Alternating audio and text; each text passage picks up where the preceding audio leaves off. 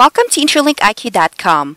In this segment, we will explore the Enterprise Management module as part of the free access to InterlinkIQ.com.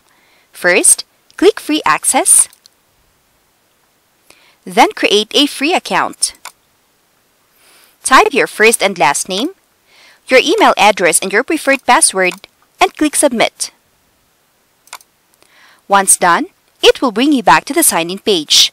Enter your email address and your password, and click Login. Let's proceed and navigate the Enterprise Management module. Here, you can see the enterprise details starting from the enterprise information, the enterprise or business description, the company logo, business structure, the parent company, certification or accreditation section, the regulatory compliance requirements, and the enterprise records section.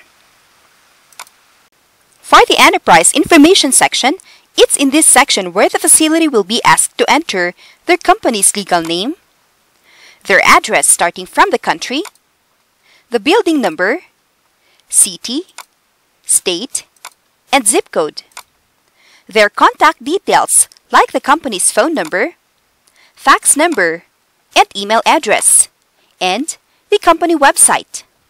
Next is the contacts management for the facility representative and the emergency contact management in the event of a recall or any emergency concerning the products or the services that the company provides, you may add your emergency contact designees in this section so they will also be notified if there is any food safety event or sort of an emergency. Next to enterprise information is the description section. For the enterprise or business description, you can put here the description of the company. So you can put here what your mission is and what the company is all about, usually the details from the company's website. You may also expand the text box section if needed. This is also where Interlink IQ starts asking questions. If your company has facilities, if your enterprise has employees, if you import or export, and if your company offer products or services. Once your answer is yes, this section populates on the left table.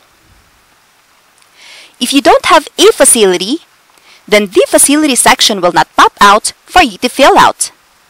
Next is the Enterprise Process Management.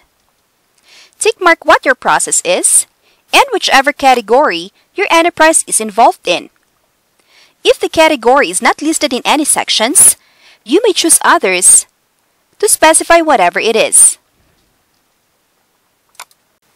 Logo Management section. This can be used by your team internally in putting it on your letterhead, in your SOPs, programs, policy and procedures, forms for records, and training materials.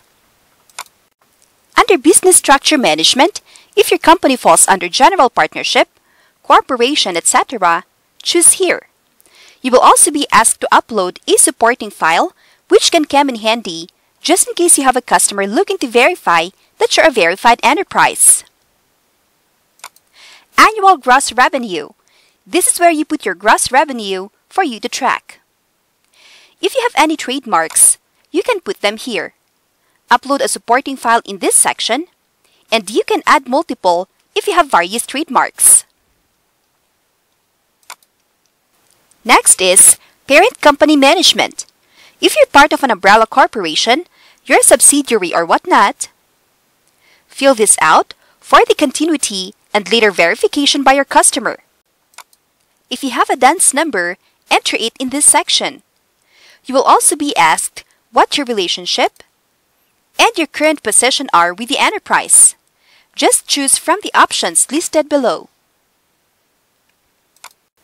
Next is Certification and Accreditation Management. This is regarding your facilities, certification, and accreditation. Just choose from the options and upload a supporting file about the certification and accreditation obtained by your facility. Under Regulatory Compliance Requirements Management, this is where you can upload your FDA, and your USDA registration certification. Lastly, the Records Repository Management.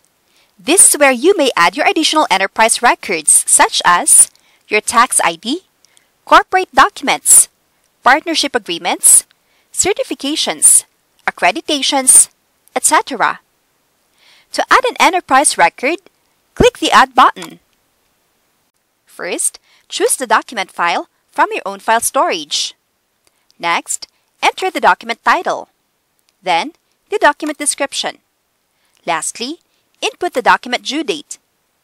If all fields are entirely filled out, click on Insert.